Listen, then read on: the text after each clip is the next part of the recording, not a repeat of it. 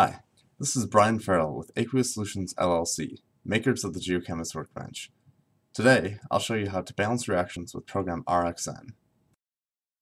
To get started, I'll find the GeoChemist Workbench folder in the Start menu and launch Rxn. Under the Balance Reaction For section, I'll choose the aqueous species, mineral, or gas that I'd like to appear on the left side of the reaction. I'll choose the mineral pyrite. Now, under the In Terms of section, a list of basis species needed to balance the reaction is automatic, automatically populated. I can move to the results pane, click Run, and automatically the reaction is generated for me. To recast the reaction in any form, I'll return to the basis pane and perform basis swaps. I'll replace the Fe2 plus ion with the ferric hydroxide mineral. Similarly, I'll replace dissolved oxygen with oxygen gas.